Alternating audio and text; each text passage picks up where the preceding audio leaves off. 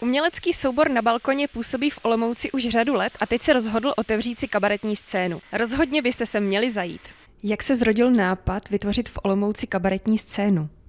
Tak ten nápad sahá poměrně daleko do historie na balkoně. A zrodil se ve chvíli, kdy já jsem dostala od eh, vlastně autorky pozdější tady potom celého vizuálu a designu tohohle prostoru, jsem dostala takovou šílenou knihu, ve které byly šílené básně a ještě šílenější fotomontáže. A když jsem, je, eh, když jsem tu knihu prolistovala, tak jsem si řekla, že z toho musíme udělat divadlo poezie. A tak se zrodila inscenace Láska baret a neb tohle neměl nikdo číst, která je celá složená z našich pubertálních básniček.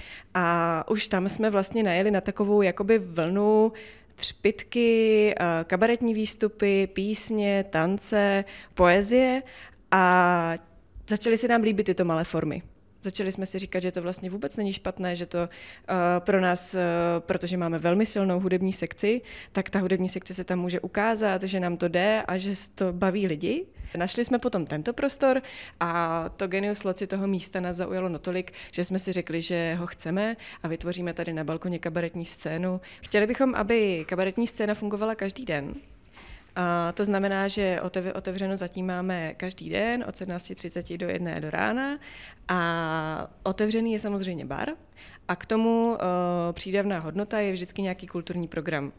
Uh, na několik večerů máme naplánovaný mm, klavírek, eh, kytaru, jen tak do podkresu, ale také máme večery ve stylu 50. let, večery ve stylu jazz swing a budeme hrát samozřejmě divadlo, chystáme právě Lás kabaret a tohle neměl nikdo číst tady v tomto prostoru, který není úplně tradiční pro divadlo, ale chceme experimentovat. Chystáme naši inscenaci Hanako, což je inscenace uh, na motivy japonské legendy, což bude zajímavé v tomto prostoru, ale popereme se s tím.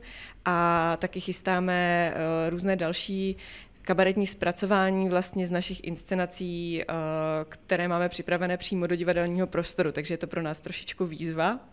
Ale také si zveme hosty, takže u nás třeba bude vystupovat uh, Šrája, Petr Šrajer, který je tady v Olomouci známý muzikant, Tomáš Višinka se Zuzanou Taxovou už tento pátek, ale máme tam naplánovaných dalších spoustu, spoustu akcí, na které chceme diváky lákat postupně. Naše kabaretní scéna se skládá ze dvou místností, z níž eh, teď stojíme v první, kde je dominantou tady tento velký bar, který je opravdu největší a nejvyšší bar v Olomouci. Neobsluhují čišníci a barmani, ale herci, muzikanti, umělci. A máme zde také herecké drinky, což znamená, že jsou to drinky, do kterých eh, naši umělci vložili svůj nápad, kousek svého srdce a má to nějakou přidanou hodnotu, eh, která je vytvořená buď nějakým rituálem, nebo například s písničkou na přání, nebo eh, například můj drink spočívá v tom, že si s objednávajícím tohoto drinku dám páku a podobně. Takže jedná se opravdu o velice kontaktní způsob eh, hraní si s divadlem, hraní si s divákem a s návštěvníkem tohoto prostoru. Teď se nacházíme ve druhé místnosti, kterou nazýváme kabaretní. Je to místnost, kde se nejvíc schromažďují lidé. Máme tady uh, pódium, na kterém jsou hlavně hudební výstupy a produkce, one-man show, stand-up komedy a divadlo, které se hraje v netradičním prostoru, což znamená mezi diváky, takže trochu rušíme tu bariéru jeviště a hlediště. Uh, také se snažíme, aby, nebo právě kvůli tomu se snažíme, aby ten prostor byl co nejvíc variabilní, takže všechny stolky jsou skládací, eh, dokonce i eh, pódium je skládací a Eh, myslíme si, že ty, že ty produkce mohou být velice zajímavé a velice funkční, protože to bude divadlo kontaktní, divadlo interaktivní a věříme, že ten divák který sem přijde, tak kromě toho, že si dá dobré pivko, tak zažije i nějaký kulturní zážitek. Autorkou návrhu vlastně designu a celého toho vizuálu je Michaela Petřik Linhartová, která vlastně z toho, z těch žlutých stěn a takového jako nepříjemného prostoru dokázala vytvořit něco takového, samozřejmě s naší pomocí, protože celý tento prostor vyrostl jaksi na našich bedrech. Jak říkal Adam, navlekli jsme monterky a šli jsme celé prázdniny, respektive vlastně spíš půl roku než celé prázdniny, asi šest měsíců, pracovat sem a malovali jsme a škrábali omítku a kachličkovali a omítali stěny a dělali zrcadlové mozaiky a stavěli bar a tak dál, aby mohlo vzniknout eh, tady toto. Ten nábytek a vlastně všechno, co tady vidíte, tak není kupováno v podstatě všechno, co zde vidíte, tak je nějakým způsobem vytaháno z půd, eh, vytaháno z nějakých eh, nábytkových SOS eh, secondhandů a předěláno tak, aby se to hodilo do našeho stylu.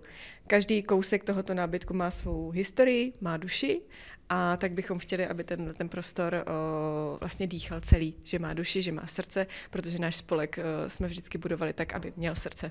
Dominantními sekcemi v našem souboru je divadlo a hudba, nebo v tomto prostoru. Nicméně my se za, zaobíráme i filmovou tvorbou a chystáme zde filmový klub, který bude zaměřený na český film a naši autorskou tvorbu. E, máme za sebou jeden větší projekt, který byl docela úspěšný, jmenuje se Stojí hruška a nyní máme roztočený nový film, e, o kterém zatím nebudu moc prozrazovat. Kromě toho se e, naše společnost zaměřuje ještě na vzdělávání.